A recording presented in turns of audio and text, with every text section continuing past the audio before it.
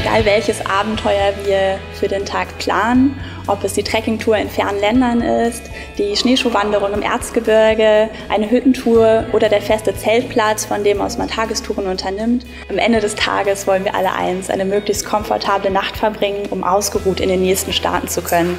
Der Anwender kann prinzipiell zwischen zwei Schlafsackgruppen wählen, einmal zwischen dem Daunenschlafsack und dem Kunstfaserschlafsack. Das Naturprodukt Daune hat den Vorteil, dass es ein sehr geringes Gewicht hat, eine enorme Wärmeleistung und ein ganz geringes Packmaß. Ein ideales Beispiel für einen Daunenschlafsack ist hier unser Sundowner.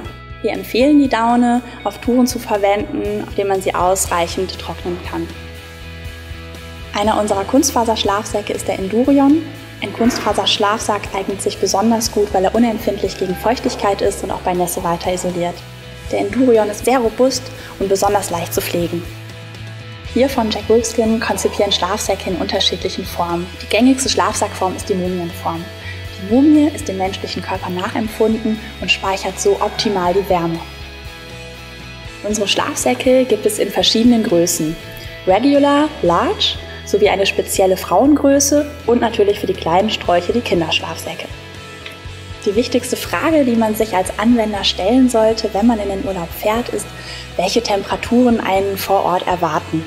Die Temperaturbereiche unserer Schlafsäcke werden auf der Wärmeskala direkt am Produkt erklärt. Der Komfortbereich, gekennzeichnet mit T-Comf, ist unser Orientierungswert für jede Frau. Der Endurion hat einen Komfortwert von plus minus 0 Grad der Orientierungswert für die Männer liegt zwischen dem Komfortbereich und dem Limitbereich. Alle Jack Wolfskin Schlafsäcke sind nach der Thermozone Technology konzipiert.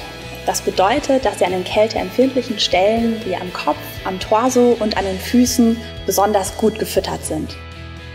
Abschließend kann man sagen, dass sich der Anwender darüber im Klaren sein sollte, wofür er den Schlafsack verwenden möchte, in welchem Temperaturbereich er sich nachts befindet, um dann abschließend die Entscheidung zu treffen, wähle ich einen Daunenschlafsack oder einen Kunstfaserschlafsack.